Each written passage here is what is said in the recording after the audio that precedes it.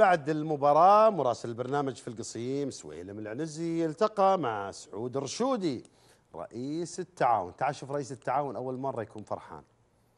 آه، قبل أجاوب على سؤالك أحب أبدأ كلمتي بشكر الجماهير هذه. لولا الله ثم الجماهير هذه ما قدرنا نفوز اليوم. هم الداعم الرئيسي وهم الوقود الحقيقي للفريق. الفوز اليوم ليش إحنا فرحتنا كبيرة بالفوز اليوم؟ لأنه عندنا يعني كأنه صار عندنا شيء زي العقدة. إحنا من العام تقريبا ما فزنا فكنا محتاجين هذا الفوز. ونقول يا رب أنه بداية سكة الانتصارات وعدم توقف الانتصارات إن شاء الله.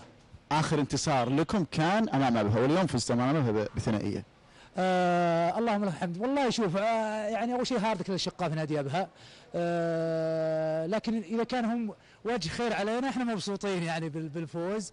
الفريق اليوم ما قصر قدم مباراة كبيرة. الشيء الجميل اليوم مو مو بس في الفوز إنه ما استقبلنا أي هدف. إحنا من زمان ما طلعنا بكلين شيت.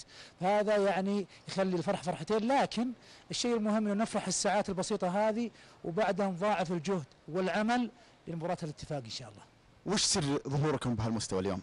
والله يا طبعا أنت لو لاحظت مباريات كثيرة ترى إحنا نكون قريبين من الفوز لكن آه الحظ العاثر أحيانا في أخطاء بسيطة.